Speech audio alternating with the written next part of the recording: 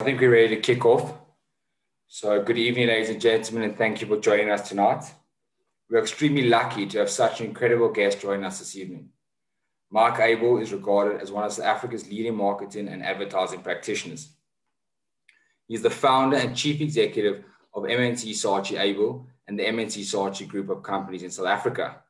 He's the former CEO of M&C Saatchi Group Australia and before that co-led the Ogilvy South Africa Group as CEO and Group Managing Director. Mark has been awarded Advertising Leader in South Africa by both the Financial Mail and Finweek, and his company was named Large Agency of the Year in 2015 as well in 2019. Mark, it's a great honor to have you on our talk this evening, and I'd like to thank you very much for giving up your time. So without further ado, I'll hand over to Mark to hear more around who he is, where is he from, and what he gets up to on a daily basis. Ryan and myself will be asking my questions, but I urge you all please to post any questions which you may have, which you may have in the Q&A box on top of your screens, and obviously we'll try our best to address them all. Once again, Mark, thank you very much for your time. Over to you, and then we'll get straight into it. Thanks. Great. Thank you very much for the warm welcome and the kind words. It's uh, lovely to be on your webinar this evening and looking forward to engaging with you guys and with the audience. So a bit of background, I guess, to your question. Um, I'm a PE boy originally, started studying architecture, didn't enjoy it, changed very quickly to start doing a BA, BA psychology, didn't enjoy that either. Eventually stumbled into studying marketing for three years, did a postgrad in advertising, and then in my day, you had to do conscription in the army. Uh, so I was conscripted, and while I was in the army, I was uh, sent to run the army shops after in the Eastern Cape after um, basic training. I called Savi, and I arrived there, and uh, I saw it was just a very uh, basic camp, and they had a shop uh, that sold groceries, and they had a shop that sold takeaways. And very quickly, I introduced credit, and I introduced white goods, fridges, stoves, microwave ovens, exactly what you'd expect year to start doing hustling and introduced uh, credit. And uh, after that year, I had raised the turnover by 16 times. and I was awarded a military, uh, uh a military award uh, for uh, raising the preparedness of the command. And I always used to think that um, if we were ever attacked, the only thing I could do was hit the enemy with the cash register, um, because that's pretty much what I learned in the army. Anyway, I started my first ad agency um, in the late 80s, um, uh, operating out of the townships in Port Elizabeth during apartheid. Um, I opened it uh, with Umkhero Black Taxi Association, uh, and basically it was advertising with Contravision on the back window of taxis. And then um, while I was in the army, I did my, my state agent's exam and um, I uh, knew it was very difficult even back then to get a job in advertising. And I wanted to work at one of the best agencies in South Africa. Eventually, I was offered a job at the White House in Cape Town. Uh, nothing to do with Donald Trump or Joe Biden, I'll have you know. And uh, I joined the White House. And very soon after I joined, I was asked to be involved in the repositioning of Woolworths from um, their former logo and product offering to the Woolies that we know today, was very involved in writing the strategy for Discover the Difference. They still use the difference, funny enough, almost 30 years later. Um, and then I was sent to start the White House Johannesburg at the ripe old age, I think, of 24, into a fully fledged ad agency. They just had a, a small um, branch there, and my job was really to grow it. So at age 24, toddled off to Johannesburg and started the White House with a creative director called Ricardo de Carvalho. You can read all about that in my book. And then I um, was uh, in Joburg. We pitched on eight accounts. We won all eight accounts. And then Ogilvy South Africa approached me in 1993 to join them and work on the Volkswagen account. And I had a 15 year love affair with the Volkswagen Audi brand, worked on Old Mutual and on Shell and then BP ended up running Emmons, sorry, ended up running Ogilvy Cape Town in 2001 as quite a young man, uh, and then had to focus on growing the group nationally. And then over the next four or five years, I grew Ogilvy Cape Town into the largest ad agency in South Africa from Cape Town. Um, and we were just a traveling agency. We were in Joburg pretty much all week in those days. And then in 2006, I became the co-leader of Ogilvy South Africa Group with Nunu Ntshingila, who was the CEO. And then in 2008, I was offered the position to run the M&C Saatchi Group Australia. I emigrated with my wife and three boys to Australia, uh, to Sydney, and I worked out of Sydney. And uh, after um, about three, four months in Australia, um, I was offered uh, to start M&C Saatchi in South Africa. The intention was never for me to come back to South Africa. Um, I was going to run Australia, New Zealand, South Africa, and play a broader role in Asia. But my wife was very homesick living in Australia, and we thought it was a great opportunity to come back and start the agency in South Africa. And so, towards the end of 2009, I notified them that I'd come back and start the agency in South Africa. And we started M&C Saatchi Abel on the 1st of uh, February 2010. So we are turning 11 in February next year, and it's been the most un- unbelievable journey. Today we have uh, offices across um, Cape Town and Johannesburg. We've got six distinct companies in our group, and wow. it's been a great adventure. Wow, well done! Phenomenal story. Thank um, you. Mark, I'm just going to jump in, and then Ron, I think maybe if you got some questions just based on your story. You said you studied when you studied start off architecture, then you went to marketing. Yeah. Do you think that's a prerequisite to get into your industry? I'm saying, is it a natural thing that people tend to have to be a great, I mean, marketing agent or be have an eye for advertising, or do you think you actually need the basis, the fundamentals, and then you rely on your inherent skills? I definitely think if you want to go into the business and strategy side of advertising, it is preferable. It's not essential. I mean, if you have a, an inherent talent and you're a voracious consumer of marketing textbooks and you don't study it, I suppose it would be uh, all right. But uh, definitely preferable to go into the business side and the strategy side, having a marketing qualification of a minimum of, uh, of three years. Um, and then if you want to be in the creative side, definitely to go and study graphic design or study English copywriting at a red and yellow or a Vega or a AAA. Most certainly, it's not a, a career you can walk into without today um, having, I think, at least um, a three-year qualification. Sure, sure. It's becoming also quite a competitive space at the moment. And how do you, how does one differentiate themselves in the space with their ideas, with their vision? Um, how do you, yeah, how do talent. You, talent. talent, purely talent you know, as as as we always say at the agency, uh, you know, kind of talent is your passport to career progression.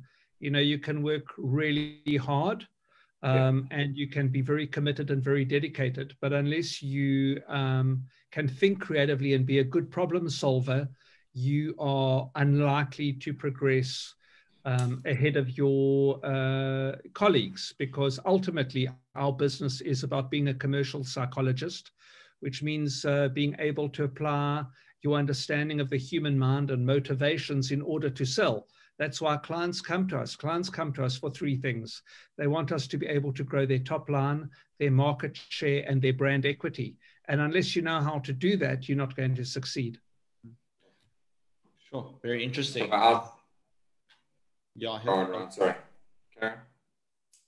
Yeah, very interesting, Mark. Um, you know, I like the word commercial psychologist. You know, the space, I suppose people deem to think it's all driven around talent, but I think based on your brief explanation on your background, you had that commercial business acumen that that took you from one step to the next and and and, and enabled you to grow such a large business.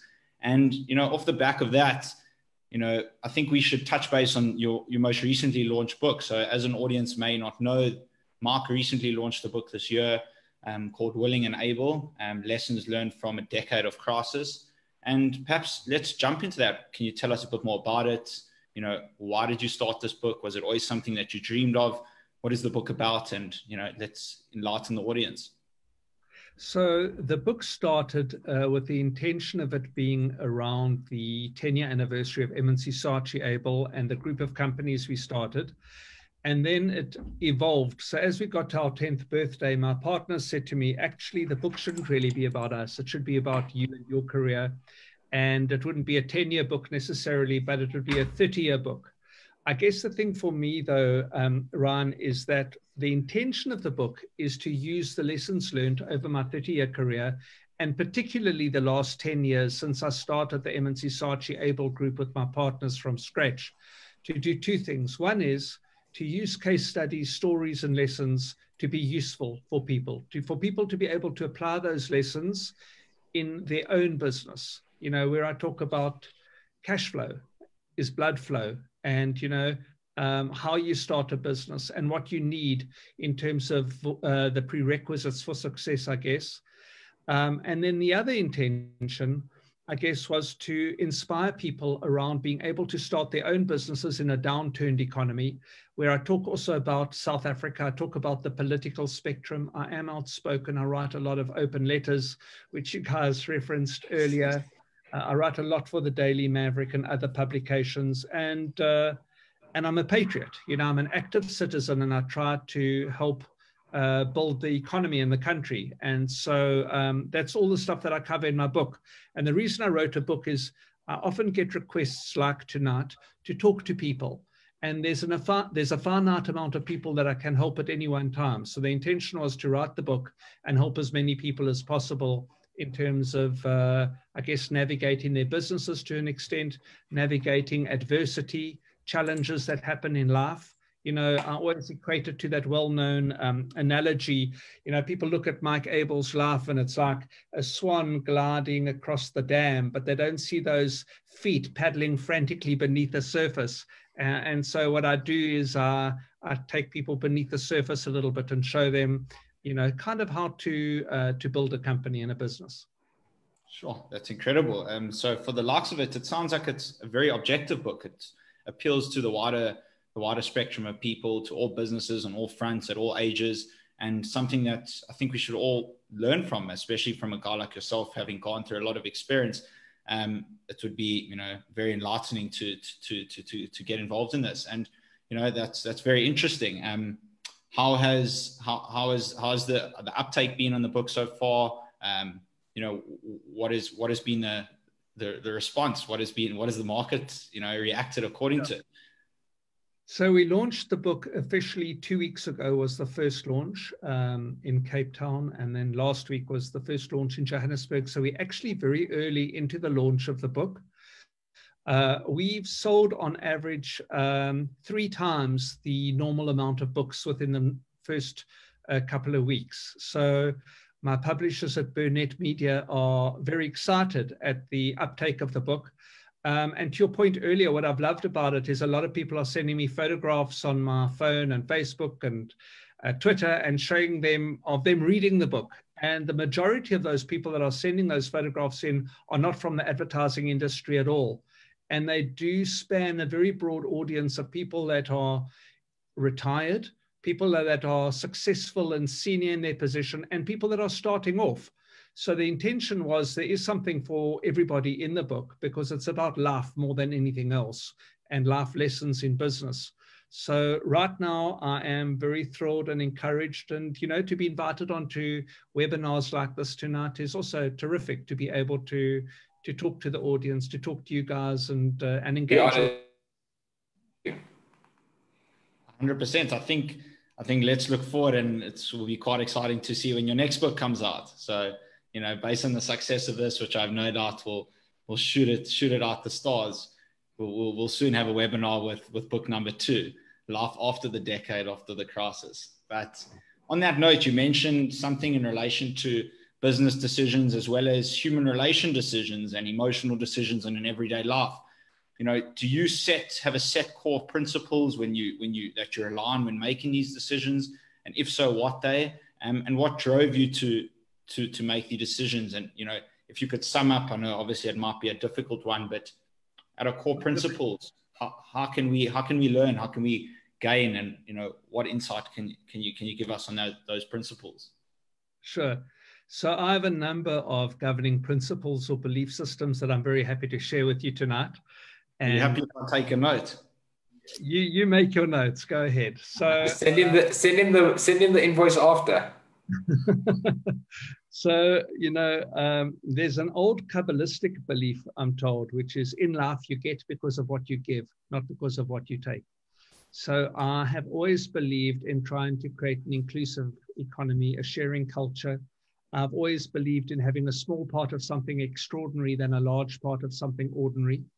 I like to surround myself with people that I know, like, and trust before I get to them even having the requisite skill for the job. I do believe that life is too short to work with assholes. I'm not sure I can use that word on a Chabad webinar, but there you go. Sorry, Rabbi. Um, you want to work with good human beings and decent people. Um, the other thing that uh, that I like to do is, you know, there's a saying that the bird of paradise never lands on the grasping hand. So I don't like to work with greedy people. I like to work with kind people. Um, so those, I guess, are my my overarching things. I am a very positive person. So I have no time for negativity. It's not that I don't acknowledge negativity, I most certainly do. So I am a realist. I am uh, burdened with realism, but blessed with positivity. And so I am solutions orientated because I don't believe that wallowing in self pity achieves anything other than taking you further down a vortex of negativity. You know, there's a wonderful story by uh, um, of Wilfred Owen, who was a poet during the um, First World War. As it happened, he actually died during the First World War in trench warfare. But he said every night that he stood in the trenches, he was faced with a choice. He could either look down and see his feet in the mud, or he could look up and see the stars. And uh, I choose to look up always, as do my partners and colleagues. And when you look at our agency and how we even approached the COVID crisis and closing the agency for that, um, we had one sign on our door in Cape Town and Johannesburg, and it said, Our doors may be closed, but our minds remain open. And I gave our staff, all 350 of them in South Africa, a very clear message. I said, Wouldn't it be amazing to do the best work that we've ever done during lockdown? Um, and I think that that set the tone for people to solve problems, to imagine, to look constructively at their situation, and not to just um, bunker down and lose hope and faith. Sure, it seems like you're more than than just a, a, you know a director or a manager, more of a mentor, and that's that's that's the the feeling I'm getting. And you know maybe I need to reposition my, my career path, but um, I think Hilly, Hilly Hilly can jump in and he might have one or cool. two more questions. But thank you for that. That was really enlightening. I've got my own notes. I think you're spot on, Ron. I think uh, mentorship seems like Mark plays that role. Mark, do you have a mentor? Is somebody you know you mentioned you tend to look up? Is there somebody you look up to, or and you you try gain guidance or inspiration from?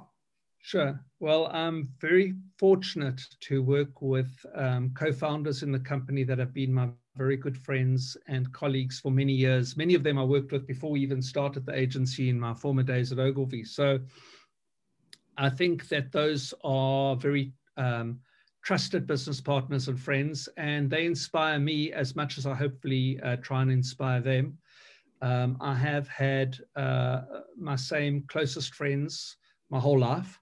Uh, you know, my best friend that uh, that has been my best friend my entire life, a guy called John Cowdery, who lives in London. He's still my best friend today, a very brilliant man. Um, and uh, and all of my friends from school, uh, I've remained close to. But I um, am very fortunate insofar as um, having had the most brilliant parents. My mom has sadly passed away, but she's a very brilliant lady. My dad's a very inspirational man. And I had amazing grandparents, particularly my grandfather, who was a very brave and brilliant man uh, called Dr. Phil Pearl. And they inspired me. And I haven't forgotten any of the lessons from my parents and my grandparents and my, my friends. Um, so, um, and then my boys, I've got three sons, and they inspire me. Uh, and they mentor me and they slap me into shape. You know, I come I, at work, I'm very important. And then when I come home, I become this idiot that needs to be slapped around, uh, like we all do. you guys will see one day. They're keeping so, you young. That was my role in the house, was to keep my parents young. Exactly so, right. So they are fulfilling their role. Yeah. You can't exactly. blame them. They're fulfilling their role. Yeah. Yeah. So exactly. So it's my so it's family, it's friends, it's my buddies. I've got another very close friend, Ellie Wilson. All of them that kind of keep me in check and you know send me stuff every day and challenge me and uh, and I think you know not that I've ever needed. You know, it's a funny thing, and I don't want to say this in a pretentious way, Hilly, but you know, people often say to me, you know, Mike, as long as we've known you, you've never changed, you know, as you've been become, I guess, more successful in your career. And my question is always change to who or change to what? And I've never understood why people believe their own bullshit or, um, you know, uh, crawl up their own ass with self importance. You know, we are all equal you know we're all here just to play different roles. And so i kind of look at my life as like a you know just a member on, on a soccer team or a rugby team. And uh, and uh, and if i am the captain of that team it doesn't mean that i'm not going to get tackled. It doesn't mean that i'm not going to foul every now and then when i hope not to or get sent off the field. But uh, you know as i say in our company you know we don't analogy. Ferguson in our company. There's nobody on the side of the field with a whistle. You're either on the field playing the game or you're out the stadium. It's as simple as that. I love that analogy. I know we said we'd keep questions till the end, but there's a question come through from Karina Govender. And she says, Mark, what is what is something you would like to be remembered for or a legacy you would like to leave? And I think that's quite relevant to the discussion we're having now. So I'd like to just bring it in. Um, I think that I measure my life through my contribution to the world, I guess. And, and if it's smaller than the world, then just to my family, to my community, to my colleagues, to my friends, the people around me. So I like to make a difference. So if people think that I've made a positive difference, that's good enough for me.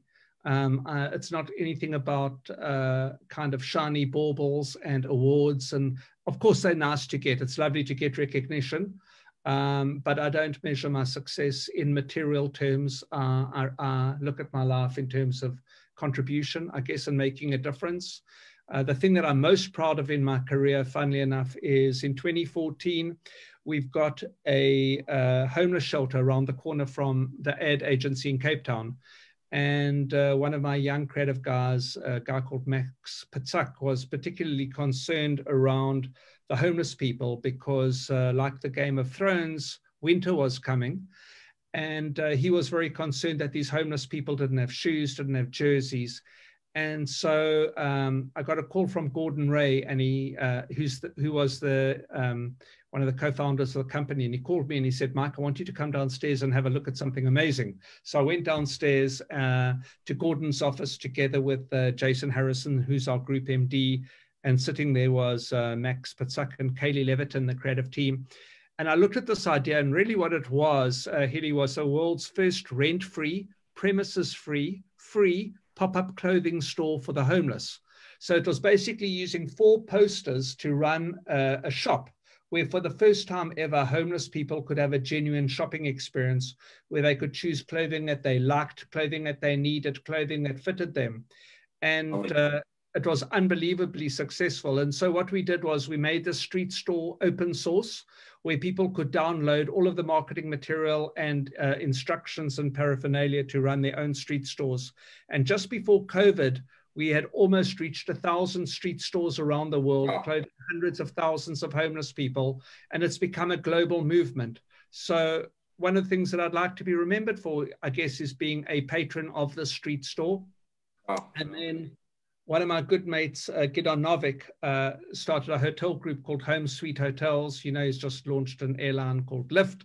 And, uh, and so when you stay at Gidon's hotel and other hotels, there's also now a hanger that hangs in all of the rooms where we encourage people when they travel to leave an item or two of clothing behind that also goes to clothe the homeless people.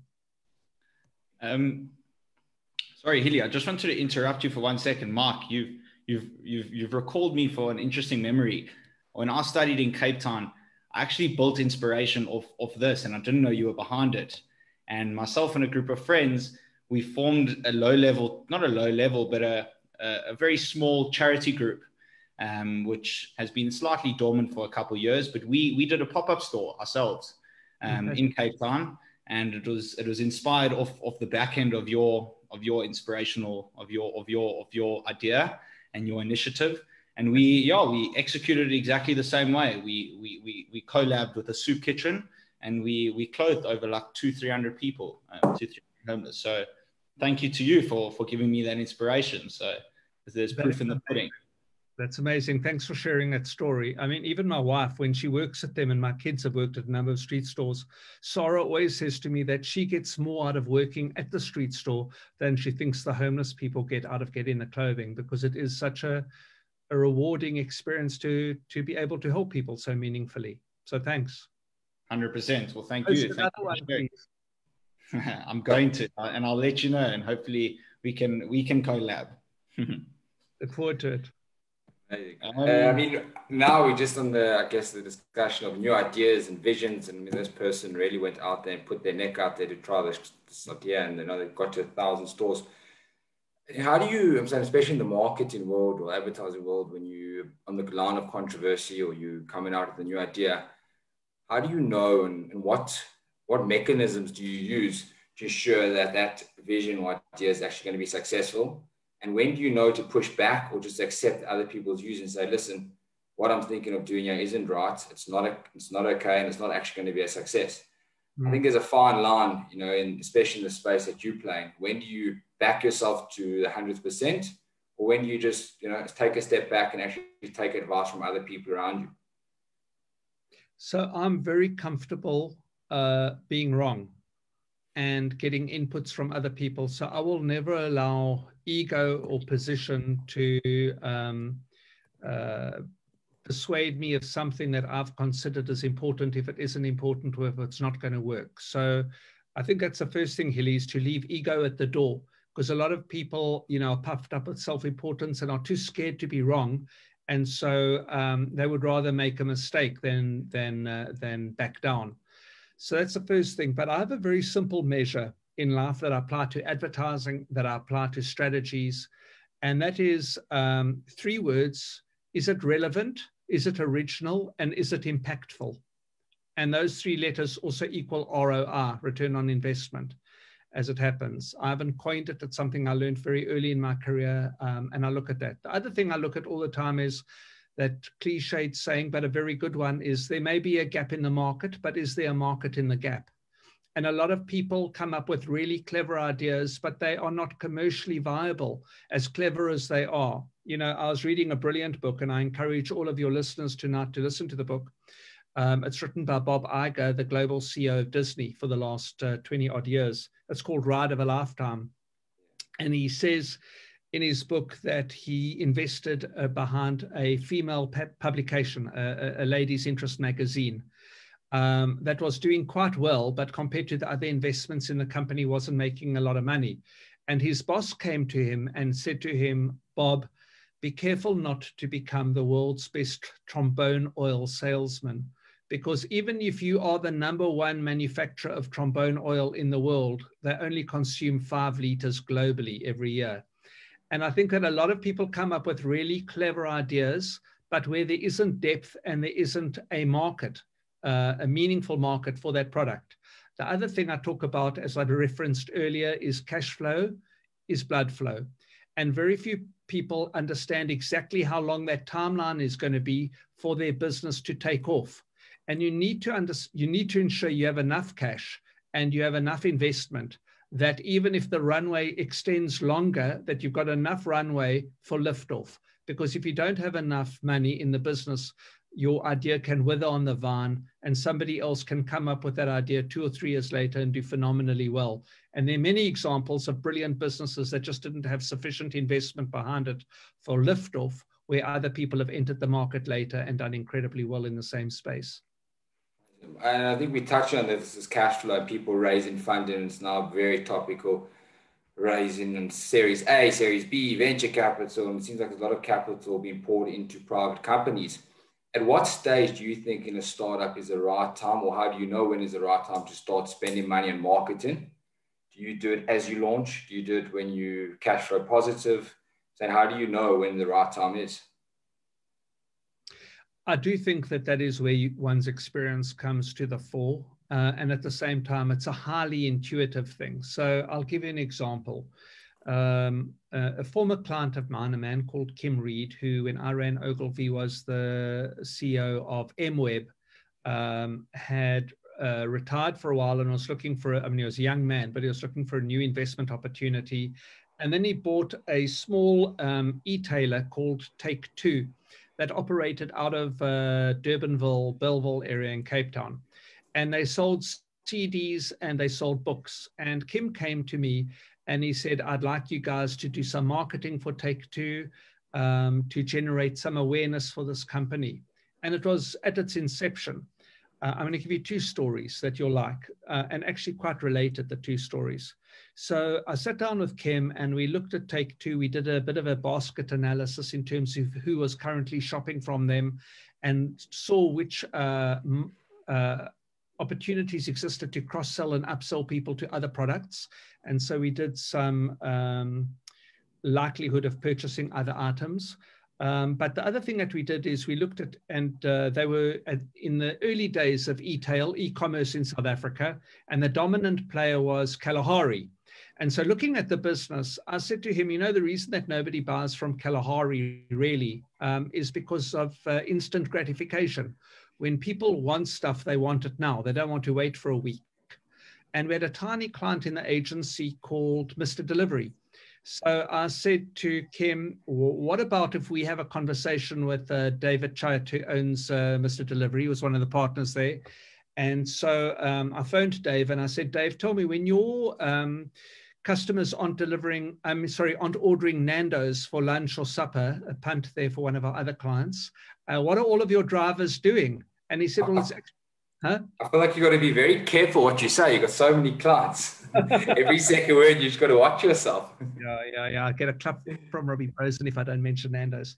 So, so uh, I said, what are all of your um, all your drivers doing? And he said, well, it's actually a problem. They're quite quiet. So Kim and I discussed it, and he met with the guys at uh, Mr. D, and he acquired them. And so when people weren't delivering uh, Nando's or uh, anything for lunch or supper, they would be delivering TV sets and tennis rackets and tackies. And, uh, and I think solving the problem of instant gratification was the silver bullet there.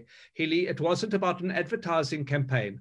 Uh, the advertising campaign followed, but the first thing we needed to do was solve the fundamental business problem, which was the barrier to selling a lot of stuff.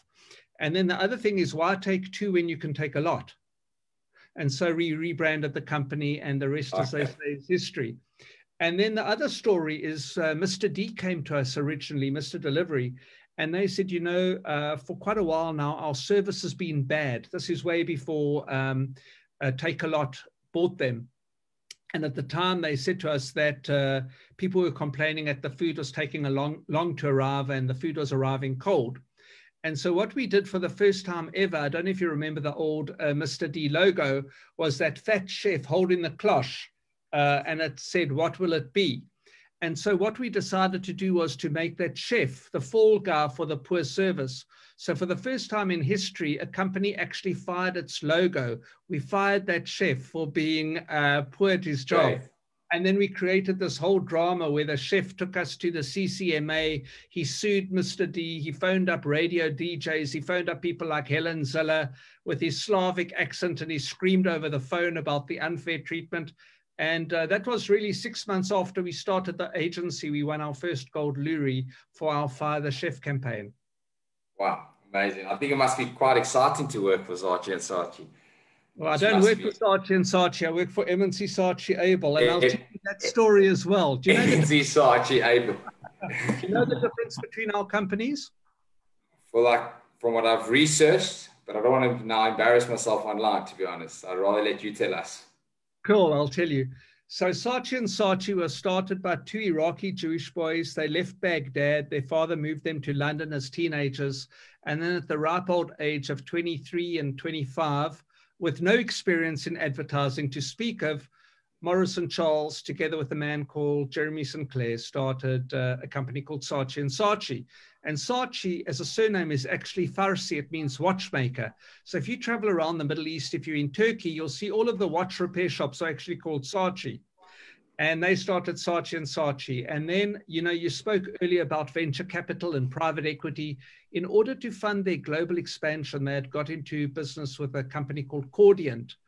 And when Saatchi and Saatchi was the largest advertising agency in the world, a young man called David Herro looked at the pro- from Cordiant, looked at the profligate spending of one Maurice Saatchi, who was spending so much money on travel and on flowers and everything else that he persuaded the board to demote Maurice from being the executive chairman of Saatchi and Saatchi to being the CEO of the London agency. And Maurice, as you can well imagine, uh, decided that wasn't going to happen in his own company. And so he walked out 25 years ago and he started M&C Saatchi with the same partners and founders that started Saatchi and Saatchi, exactly the same team. And so for the last 25 years, we've been M&C Saatchi. Not so, there haven't been any Saatchis at Saatchi, Saatchi and Saatchi. Wow. Is there still Saatchi and Saatchi? Just out of interest. Sorry? Is there still a Saatchi and Saatchi? so. Yeah, yeah, it's still a major advertising group. It's owned by the French holding company called Publicis. Um, and uh, and in South Africa, we are the only uh, M&C Saatchi company globally with a local founder's name, and we are M&C Saatchi Abel in this local market. Makes sense. See, you told it much better than me. no, but you'll be surprised at how many of my clients even say the reason we came to Saatchi and Saatchi is because, and I say to them, sorry, chaps, but you're in the wrong building. well, you got nobody to send them, so you can use that line. But if Saatchi and Saatchi was down the road, you would have a trouble. have a bit of a problem. sure. Um, very interesting. Um, very, very interesting. Um, Mark, just to jump onto the topic tonight, so just to steer mm. the conversation slightly more. I know it's been, you know, an engaging discussion, getting to know one another, and you know, just learning about your past and you know, learning and taking a lot of advice. Um, you know, the topic of tonight is we're not close to the end. We we're close to a new beginning. What does that statement, you know, mean to you? Um, you, you wrote a book during such a crazy time, to say the least, during this year. And you know, speaking of COVID and speaking of the last last eight months or so, what is what what has that done for the advertising industry? And and you know, what do we see going forward? Well, very early, uh, Ryan, we coined a term of not the new normal, but a better normal. And I'm in no way a fan of COVID insofar as people reflecting on all of the magic time that they've had at home with their family. I don't uh, necessarily, I mean, I adore my family, but I don't necessarily buy into that narrative. I think that that is Stockholm syndrome. Uh, I think people have fallen in love with their captor and so they think that this is a special time. It's not a special time, it's a terrible time for the world um, economically because a huge amount of people have senselessly, in my view, lost their jobs uh, and lost their livelihoods. Um, obviously, there is, and let me put it out there. I mean, I obviously believe that for people who are elderly, um, certainly 70 plus, um, 75 plus even, um, and people who have comorbidities, it can be a very, very dangerous virus. Uh, so I don't want anybody misinterpreting what I say as a COVID denialist. I understand the perils of the disease fully. I also understand, according to research, that 99.9% of people under the age of 70 who get COVID will recover. So there is a 0.1% um, a fatality rate for people under 70. So uh, my fervent belief is um, the world has approached this poorly insofar as what we needed to do was to protect the elderly and to protect people who have comorbidities, not to apply a blanket uh, suppression to everybody.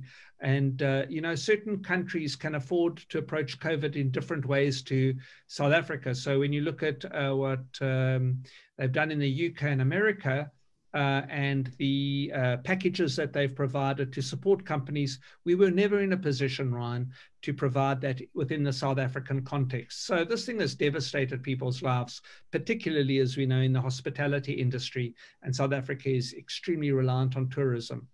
Now, you then say, well, what are the positives? What is the beginning, not the end? And I think the beginning over here is for a company like ours, we always wanted to adopt a flexi working model. But you know, there's that old adage of if it ain't broken, don't fix it. And because our company was running so well with everybody working 350 people from two campuses, uh, you would check in at somewhere around about 8, 8.30 in the morning and you'd leave anywhere between, I guess, 5.30 and 10 o'clock at night, depending on what you did. And today we've seen how the agency on 20% of people now in my company are back at work. Not much more than that. 80% of people are still working from home. What have we done during this time? Well, thank God, with our um, we we prioritized completely uh, job retention was number one for me, not bottom line delivery. And fortunately, my partners in London uh, bought into this idea that our first responsibility was to look after people's livelihoods and their lives. I think they're interchangeable terms.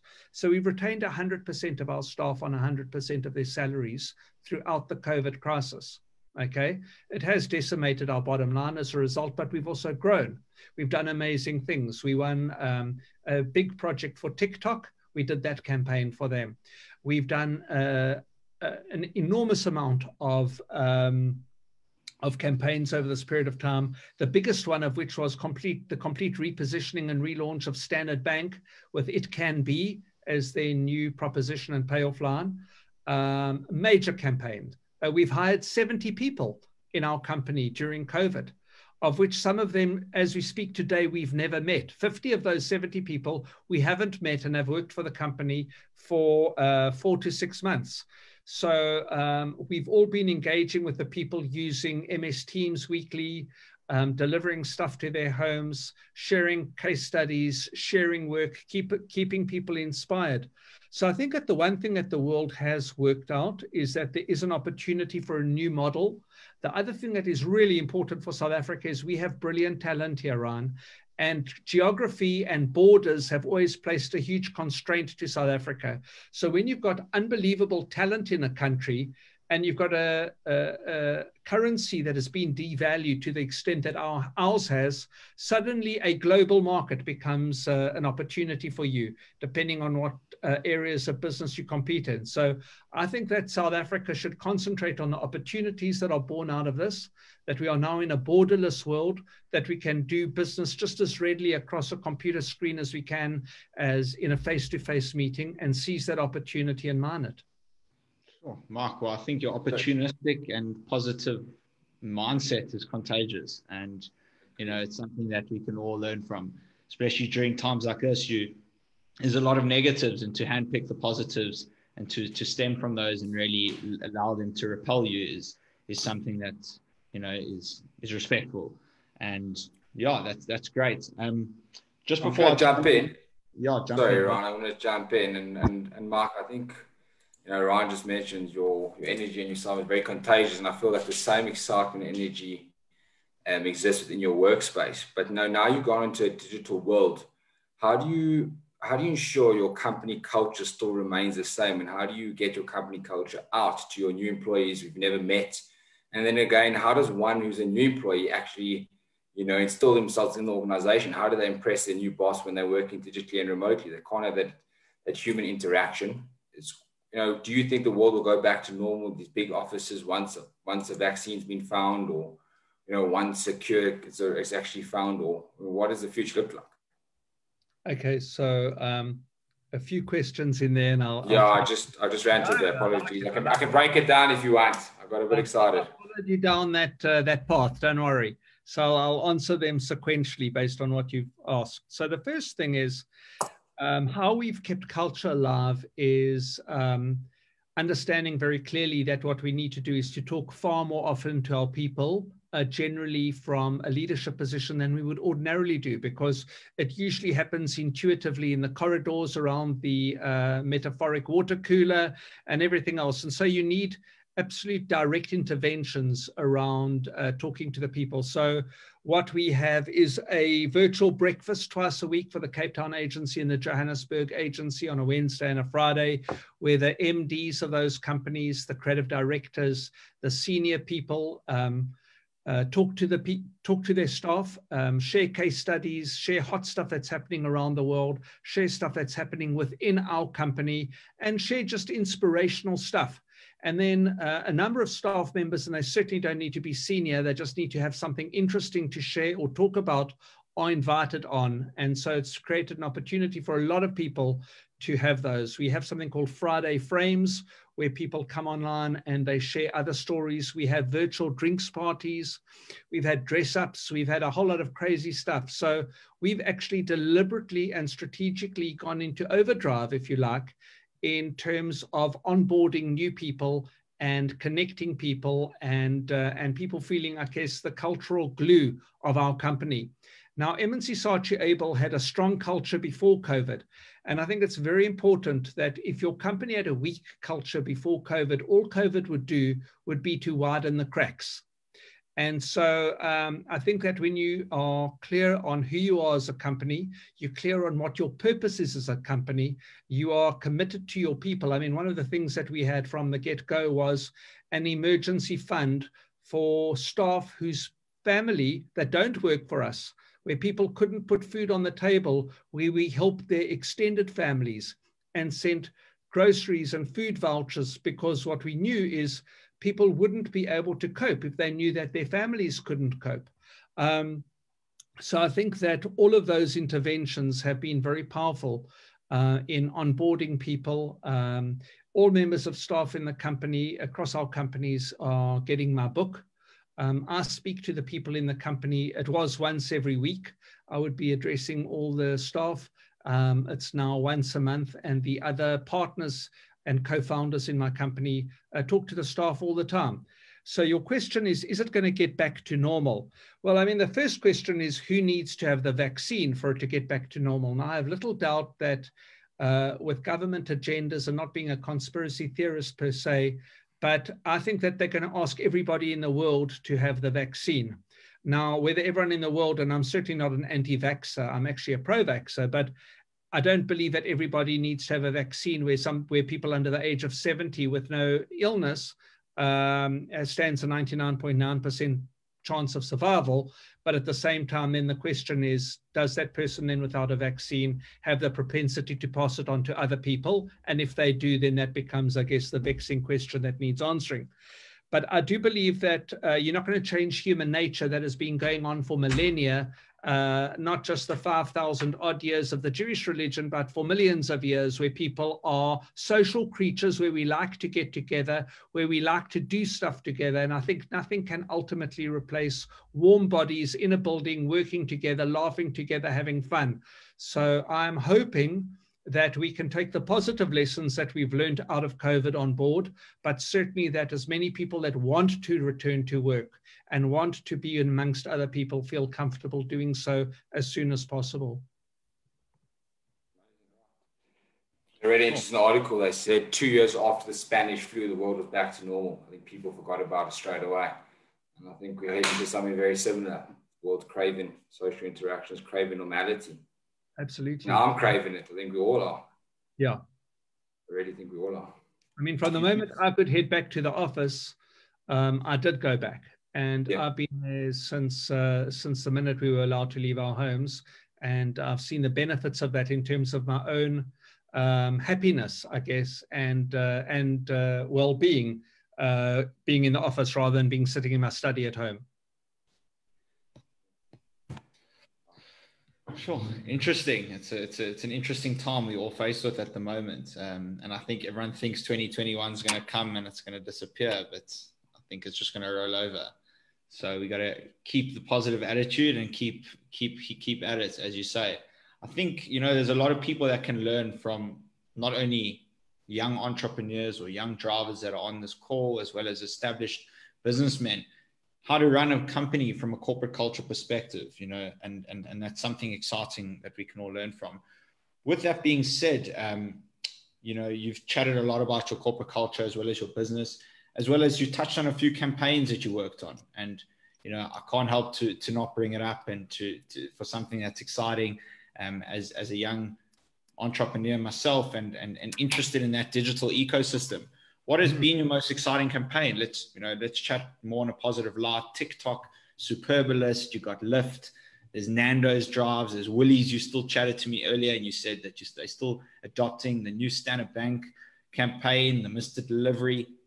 You know what has been the most exciting? When I looked on your website, if everyone here hasn't hasn't seen the website, it's it's honestly like a storyboard. It's so incredible. Um, so I would urge everyone to have a look there. But yeah, let's chat about that. So in terms of our clients, uh, so Lift actually isn't a, a client of M&C Saatchi Abels. It's our strategic marketing consultancy in our company called Black and White. They've been working with uh, with Gidon on that. Uh, obviously, I've been watching it with interest, um, but um, uh, we'll see uh, exciting stuff certainly coming from them. Uh, I guess uh, rather than pick out a favorite, and, and we have done a lot, and obviously TikTok was a very exciting thing because of the nature of the channel.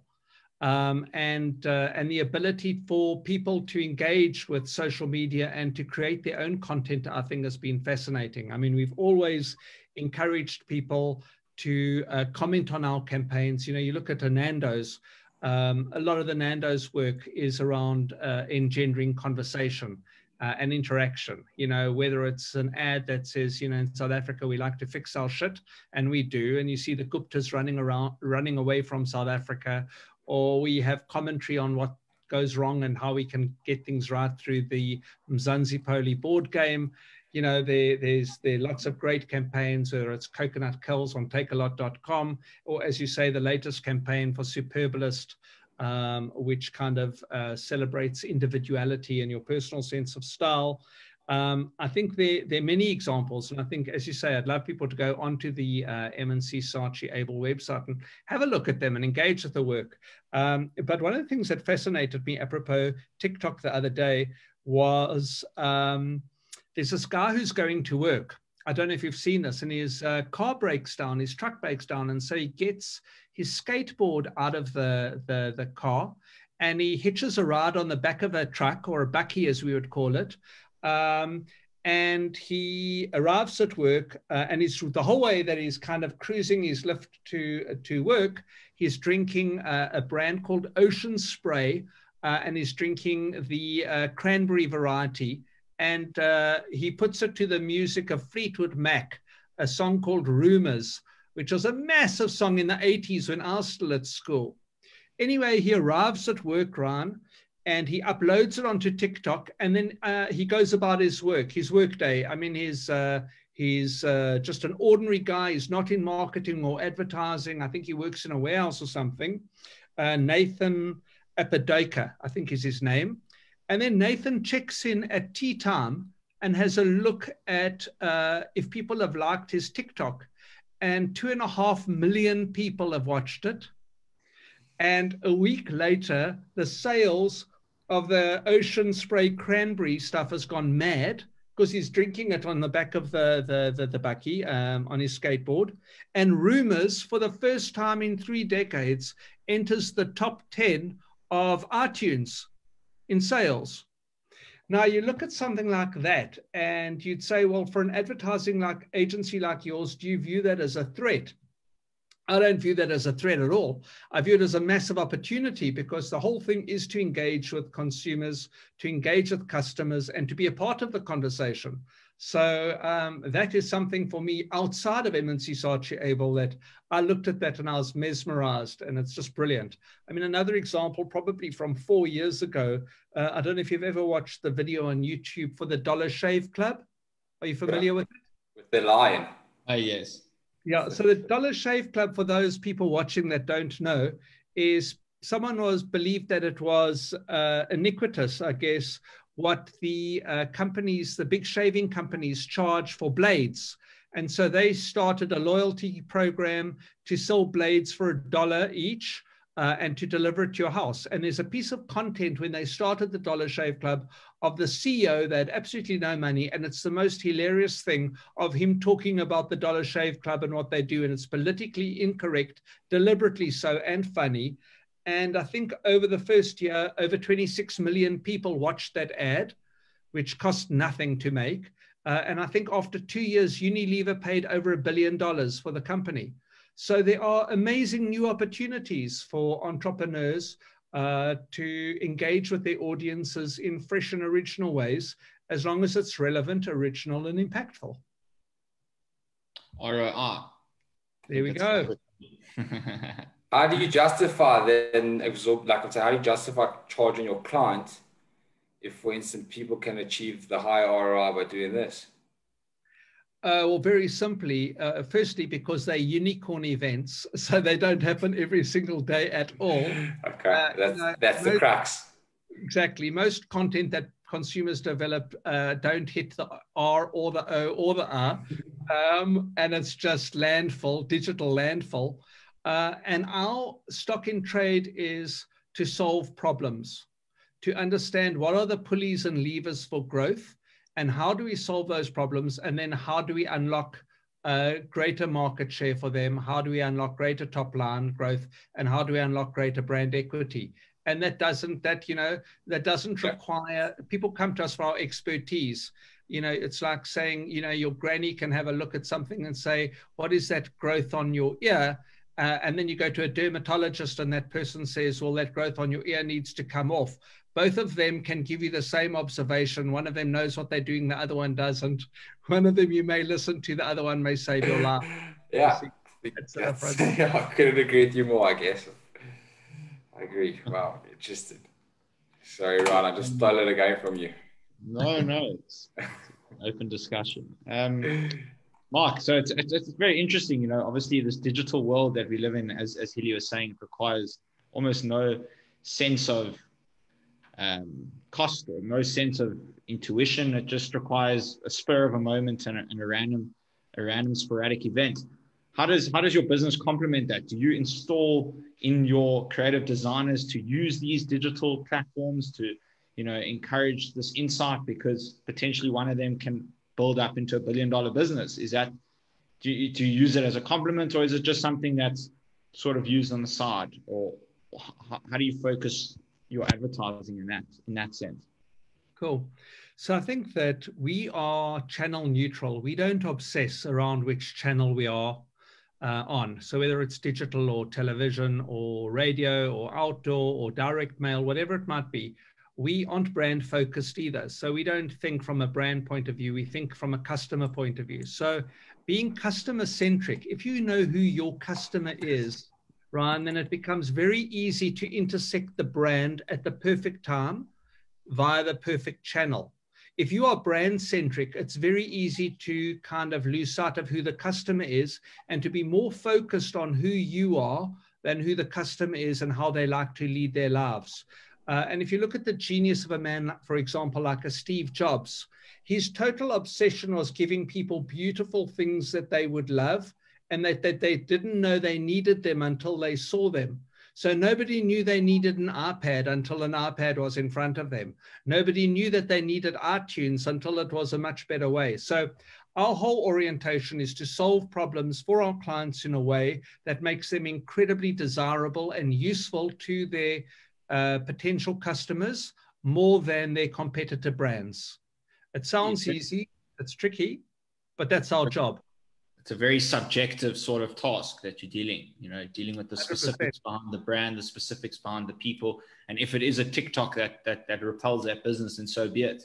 So that's that's sort of what I'm gathering, but that's you know very, very insightful.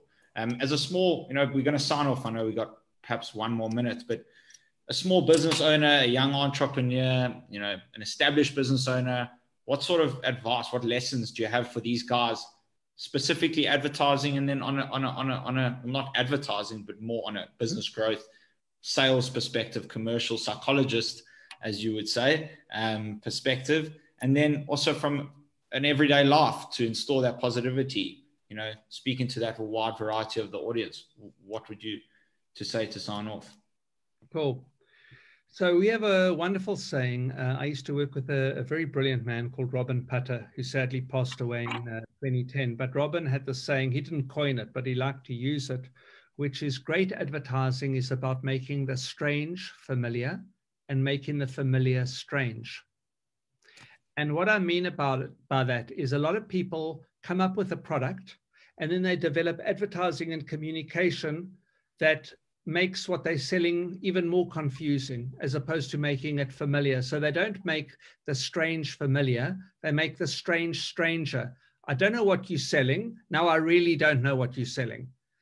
Other people try and make the familiar even more familiar. So I already know what you're selling. And instead of communicating with me in a fresh and interesting way, I'm going to tell you everything that you know already. Well, that's a complete waste of money and time.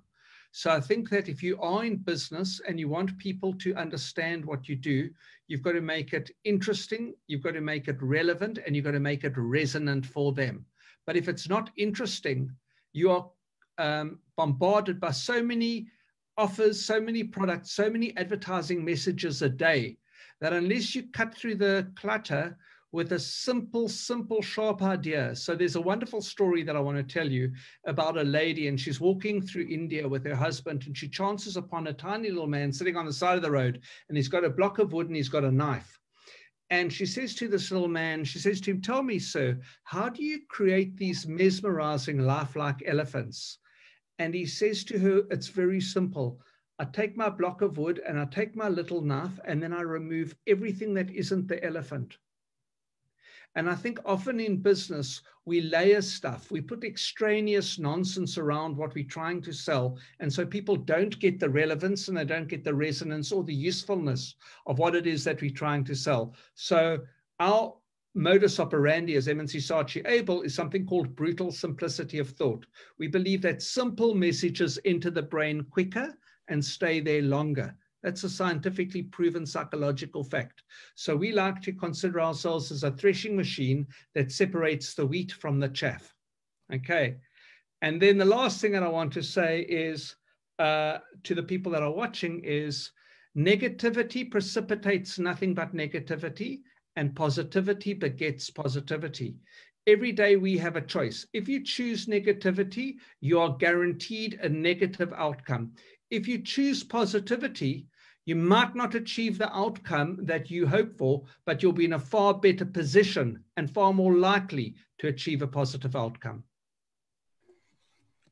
I love it. I love it. Um, I also think that that market in the gap, everyone thinks of the gap in the market, and what you just spoke about, the market in the gap is also sort of brilliant. And that coupled with your positivity is is a destined for success. Hilly, I'm going to hand over to you to sign off.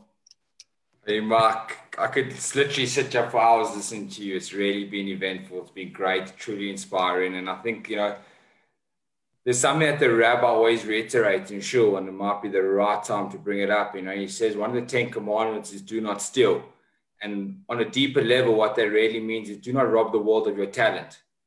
And I think you really have given back to the world you've really done the most. And you know we you inspire the, the youth and we are really grateful to have you on the show giving of your time.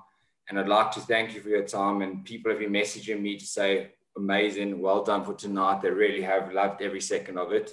So Mike thank you very much for your time. It's truly been amazing very inspirational. And hopefully when you launch your second book we'll have you back.